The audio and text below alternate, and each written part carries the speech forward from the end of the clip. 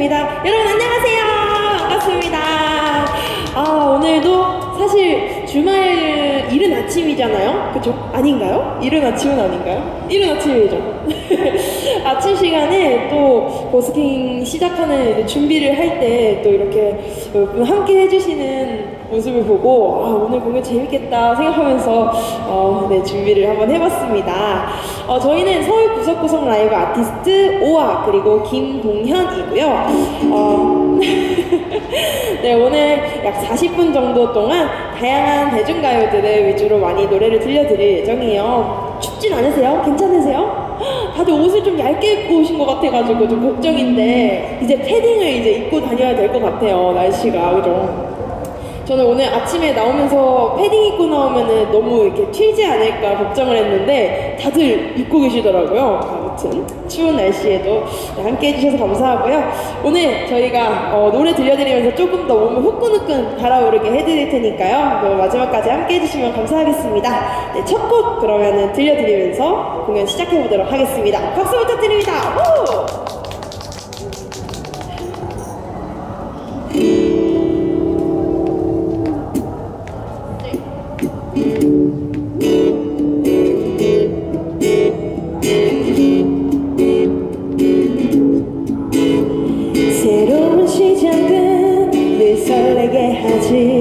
모든 걸 이겨낼 것처럼